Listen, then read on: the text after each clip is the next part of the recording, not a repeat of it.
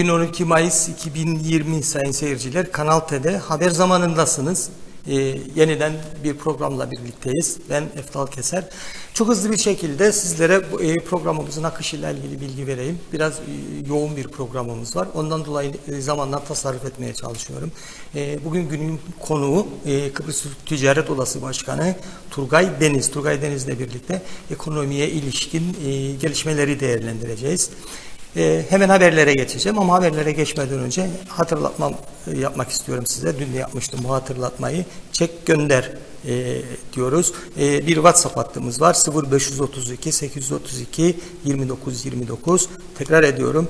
0533 832 29 29.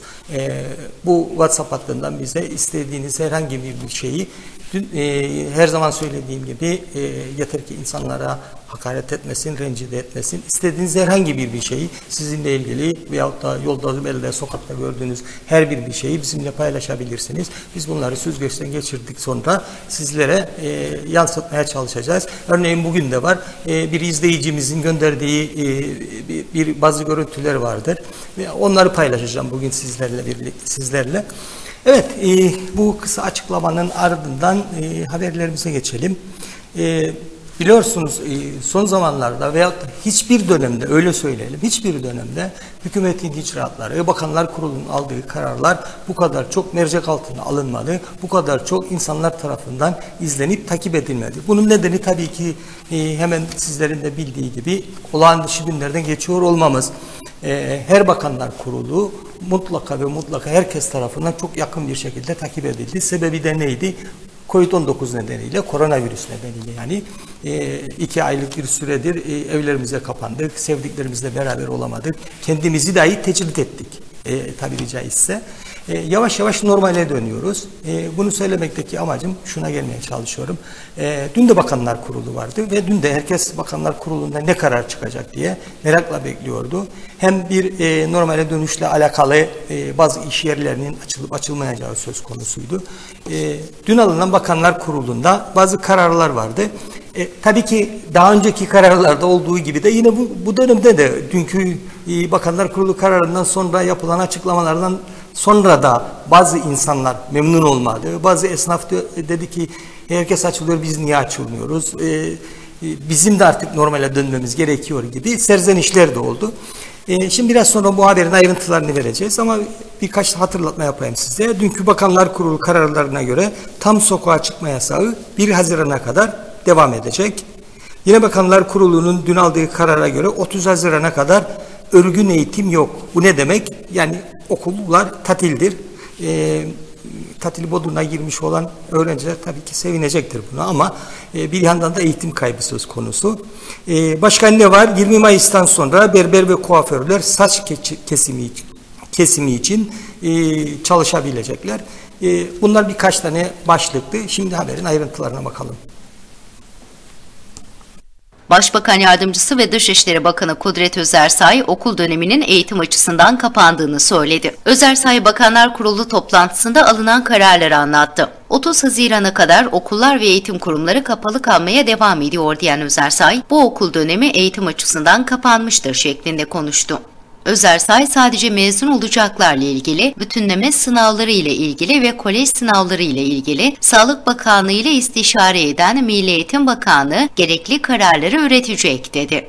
Başbakan Yardımcısı ve Dışişleri Bakanı Özersay 1 Haziran'a kadar gece sokağa çıkma yasağının devam edeceğini de aktardı. Özersay bununla birlikte pazar günleri kısmi sokağa çıkma yasağının 18 Mayıs'tan itibaren kalkacağını kaydetti. Özersay pazar günleri kısmi sokağa çıkma yasağı uygulanıyordu ama özellikle çok daha fazla sektörün açılması ile birlikte anlamını yitiriyor. Pazar günleri kısmi sokağa çıkma yasağını kaldırma kararı aldık. Pazar günleri dışarı çıkmak mümkün olup benzin istasyonu, market ve eczane dışındaki iş yerleri de açabilecek ifadesini kullandı. Özersay 20 Mayıs'tan itibaren berberler ve kuaförlerinde sadece saç kesimi ve saç bakımı için açılacağını ancak diğer hizmetlerin verilmeyeceğini belirtti. Özersay, randevu ile çalışacak, maske takmak zorunlu olacak, sakal tıraşı yasak olacak, 21 Mayıs Perşembe günü de berberler açık olacak dedi. Özersay 18 Mayıs'tan itibaren marinalardaki bireysel teknelerin kişisel kullanıma açılacağını, bireysel anlamda yapılan sportif faaliyetler ve antrenmanların spor alanlarında ve spor sahalarında serbest olacağını, yürüyüş parkurlarında bireysel yürüyüş faaliyetleri yapılabileceğini de kaydetti. Piknik alanları ve çocuk park alanlarının 1 Haziran'a kadar kapalı olacağını vurgulayan Özersay, piknik alanlarında ve yeşil alanlarda da sportif faaliyetlerde bulunmanın serbest olacağını aktardı. Özersay daha önce seyahatler bağlamında sadece sağlık ve cenaze maksatlı girenlere verilen izinlerin 1 Haziran tarihinden itibaren olan ikamet yerleri Kuzey Kıbrıs Türk Cumhuriyeti olan kişilerin tamamına açılacağını da bildirdi. Ancak bu girişlerin 14 gün karantina kuralı çerçevesinde gerçekleşebileceğinin altını çizdi. Çekler konusunda 90 gün olarak alınan kararın da netleştirildiğini söyleyen Özersay, çeklerle ilgili kararın 3 Ağustos tarihinde ortadan kalkacağını ifade etti.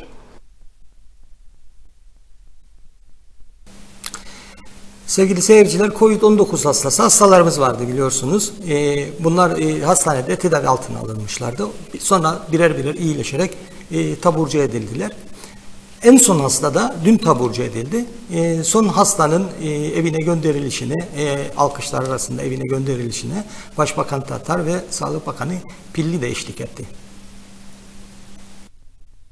Başbakan Ersin Tatar ve Sağlık Bakanı Doktor Ali Pilli, Levkoşa Doktor Burhan Nalbantoğlu Devlet Hastanesi'nde tedavisi sona eren 83 yaşındaki Zekai Gece isimli son COVID-19 hastasını uğurlamak üzere hastaneye geldi. Başbakan Tatar, Sağlık Bakanı Doktor Ali Pilli ve sağlık görevlileri son COVID-19 hastasını alkışlarla uğurladı.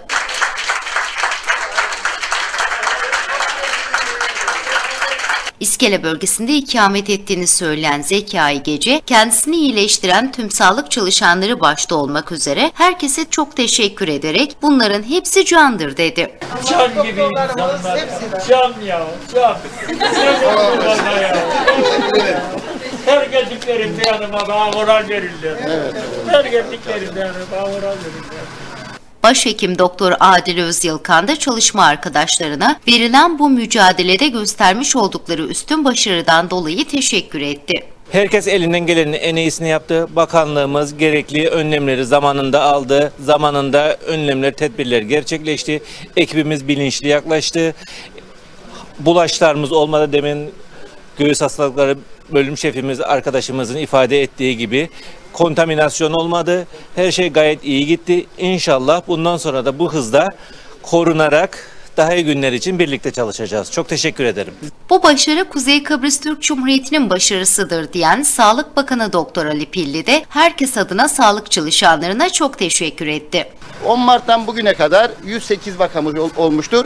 Bu e, burada çok güzel bir e, çalışma ile, çok güzel bir başarı ile gerek Başbakanımızın e, başkanlığında Bakanlar Kurulu'nun almış olduğu kararların doğrultusunda halkımızın bu kararlara uyması ama tabii ki başta sağlık çalışanlarımızın büyük gayreti ve başarısı sonucunda bugünlere geldik ve e, son vakayı da taburcu e, yapmış bulun, bulunmaktayız.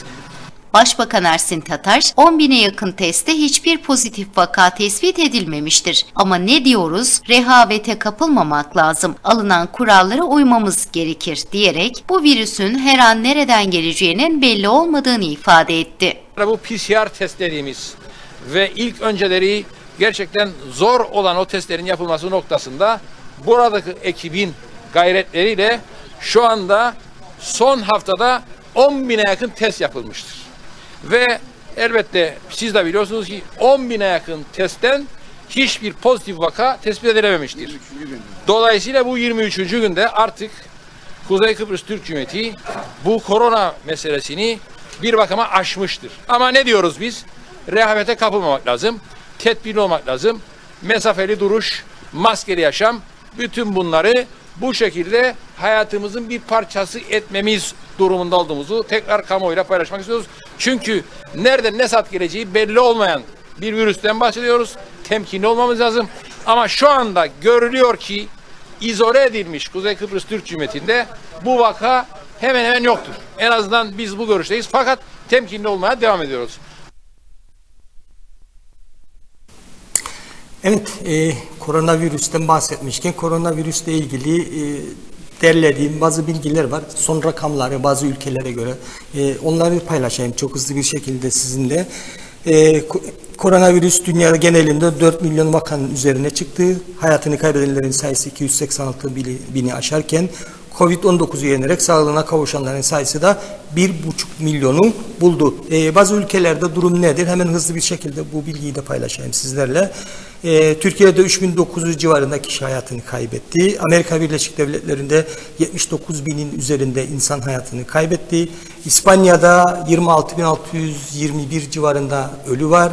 Ee, adından çok sıkça bahsedilen ülke İngiltere. Ee, İngiltere'de ise Covid-19 salgınından 220.449 vaka tespit edildi. Ee, 31.930 kişi de hayatını kaybetti. Fransa'da 26 binin üzerinde ölü var. İtalya'da 30 binin üzerinde ölü var. Şimdi bu bilgileri de verdikten sonra size e, sıradaki haberimize bakalım. Bugün Dünya Hemşireler Günü. E, biliyorsunuz sayın seyirciler dönem dönem e, bazı ülkelerde bazı olaylar oluyor ve bu olaylar olduğu zaman da bazı kişiler, e, kurumlar, e, sivil toplum örgütleri ön plana çıkıyor. Bizde de son zamanlarda sadece bizde değil tabii bu e, dünyada son zamanlarda sağlık çalışanları hep ön plandaydı. Doktorlar ve hemşireler. Bizde de aynı şey söz konusuydu. E, bugün Dünya Hemşireler Günü. Hemşirelerimizin gününü e, biz de canı gönülden kutluyoruz. E, Kanal T Haber Merkezi hemşirelerle bir röportaj yaptı. Biz şimdi bunu getiriyoruz ekranlarınıza. Dünyada modern hemşireliğin kurucusu Florence Nightingale'in doğum günü olan 12 Mayıs Uluslararası Hemşireler Günü olarak kutlanıyor.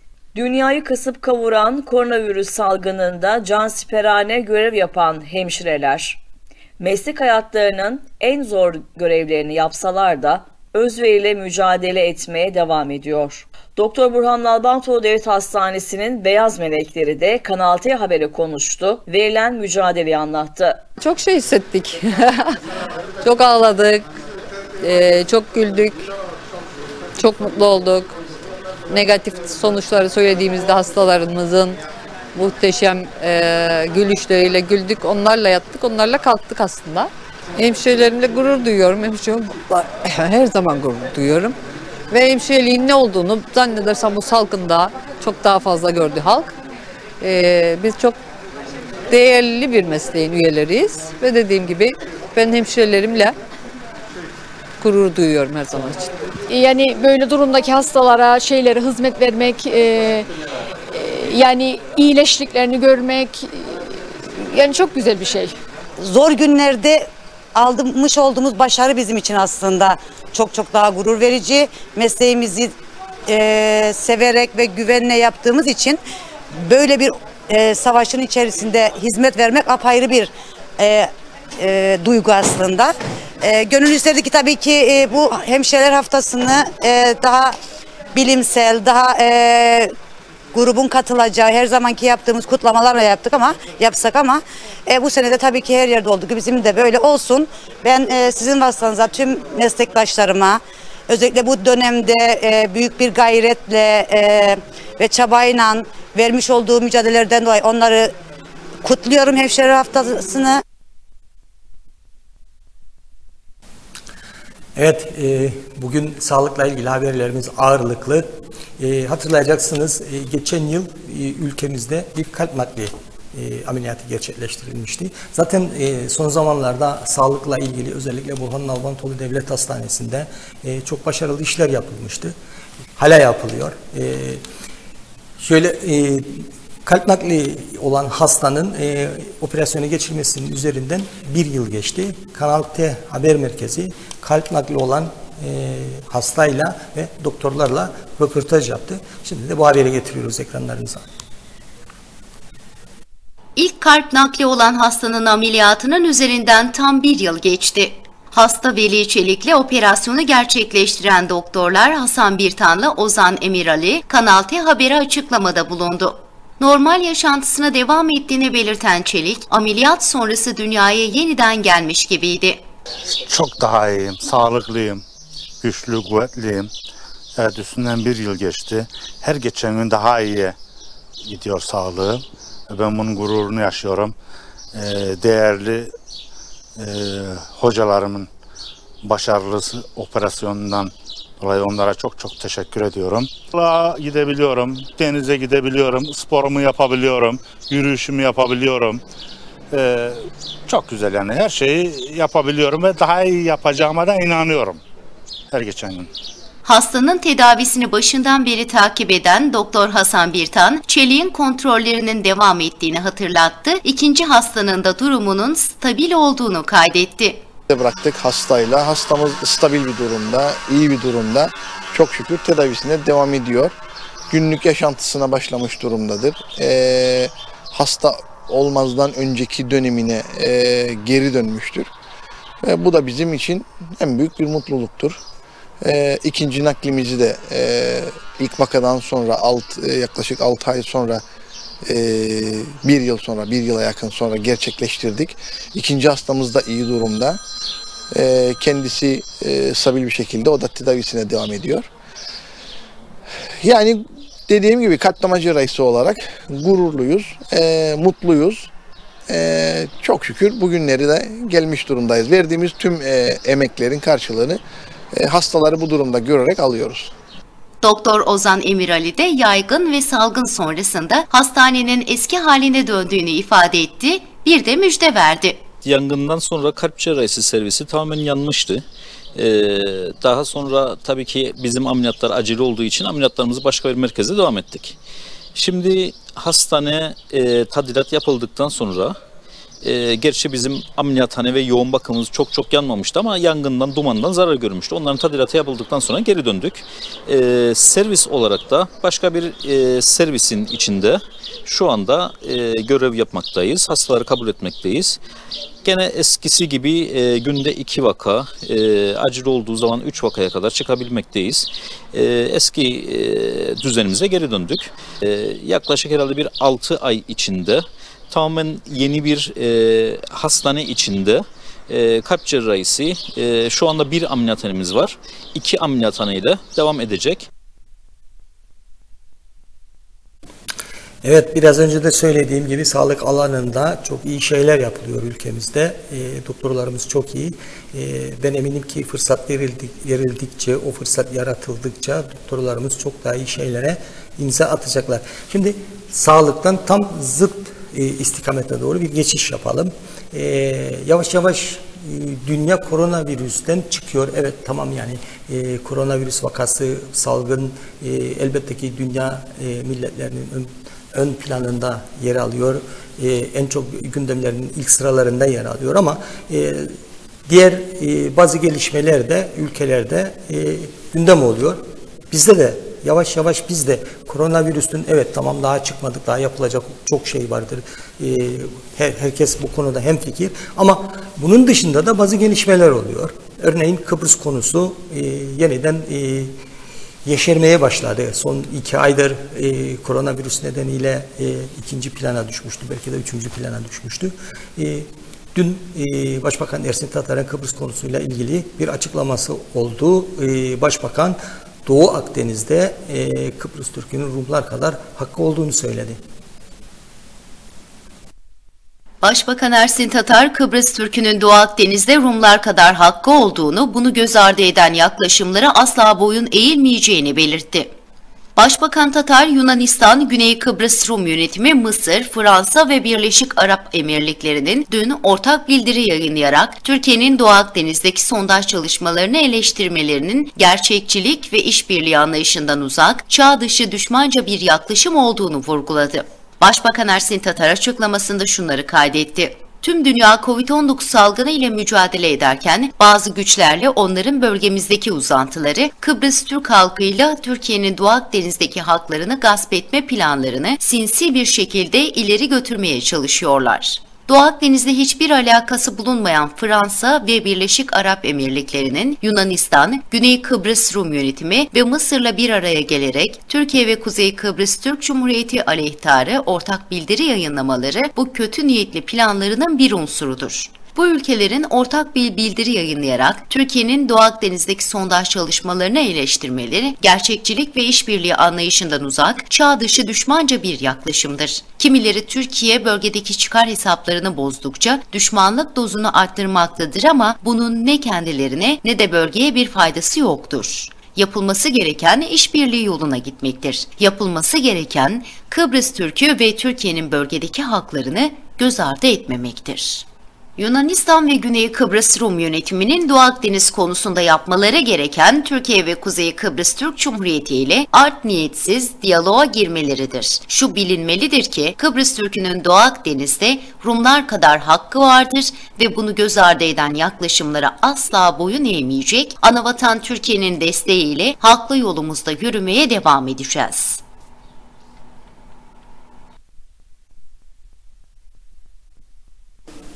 Evet, aynı konu ama başka bir makamdan geliyor bu baş, e, açıklama. E, Türkiye Cumhurbaşkanı Recep Tayyip Erdoğan ülke çıkarlarının Akdeniz'de, Ege'de ve Kıbrıs'ta korunacağını söyledi.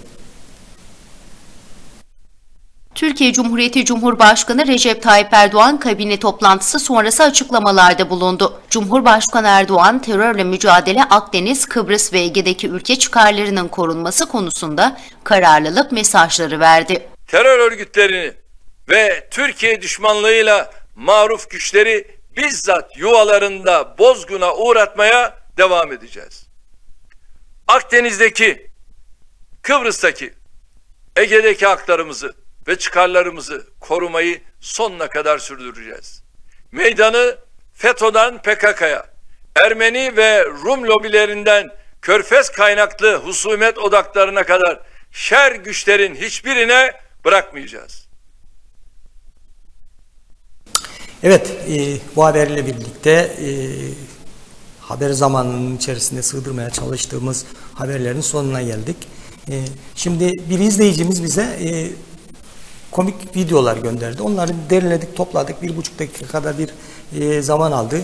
E, Çinli iki kardeşin maceralarını anlatan e, komik, gülümseyeceğiniz, hoşunuza gidecek bir e, bölümümüz var şimdi. Onun ardından reklamlarımız olacak. Reklamlardan sonra Kıbrıs Türk Ticaret Odası Başkanı Turgay Deniz bizimle olacak. Şimdi o sizi gülümseteceğini umduğum görüntüleri getiriyoruz ekranlarınıza.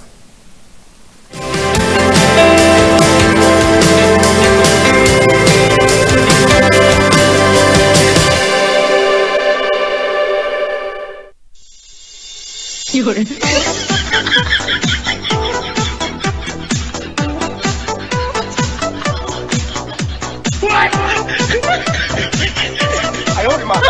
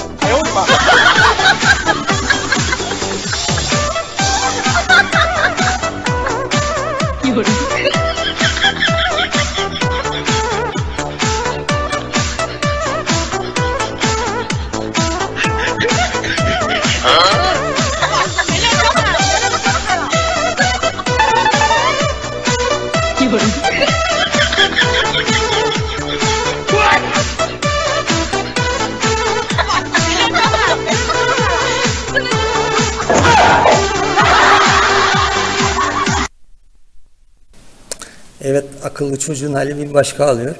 Ee, haber zamanının ilk bölümünü sonlandırıyoruz. Şimdi reklamlara gideceğiz ama reklamlardan sonra bizi, bizi izlemeye devam edin. Çünkü Kıbrıs Türk Ticaret Odası Başkanı Turgay Deniz bizimle birlikte olacak.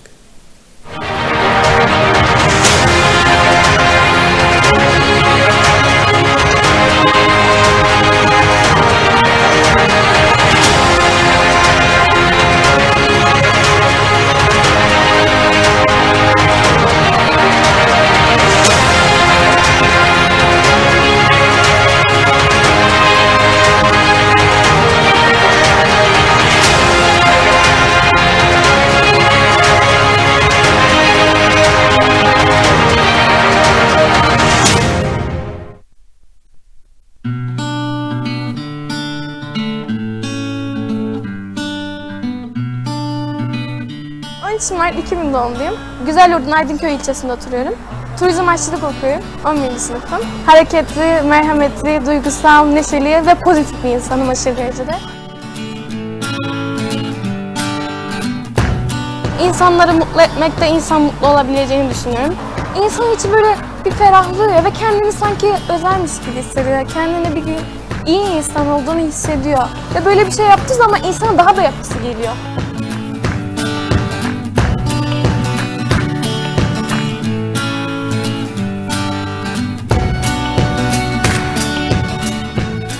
Bazı insan vardır inanabilir, bazı insan inanmayabilir. Çünkü ben mesela ilk duyduğumda inanmamıştım. Kendim yaptığımda inandım. O küçücük çocuğun o gülümsemesi, o gözlerinin içindeki mutluluk gerçekten yani inanılmaz şekilde. Kendim, ben bugün hissettim onu gerçekten. O insanın mutluluğu anlatılmaz yaşanır ya. Ben Zeynep, iyilik gönülleri üyesiyim. İnsanları mutlu etmek için çok bir masrafa gerek yok. Sadece tek bir gülümseme insanları mutlu edebiliriz. Yeni umutlar, yeni yardımlar sağlamak için birlikte el ele verelim.